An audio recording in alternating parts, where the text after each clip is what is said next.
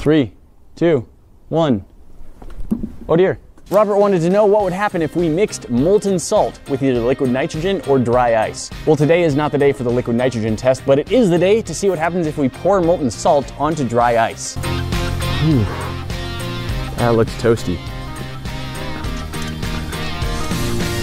See how well molten salt pours out of a crucible.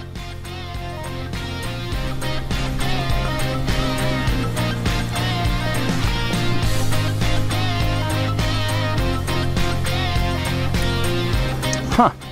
Well, it's cooled down. It certainly bubbled a good amount, but it didn't react horrendously violently at all, at least not yet. I guess it's still possible to get there, but even the salt that's just on our pavers has cooled down to being solid. Looks like our salt inside our dry ice has as well. Let's see if we can tip that out. Well, there you go, a nice solid chunk of salt right there.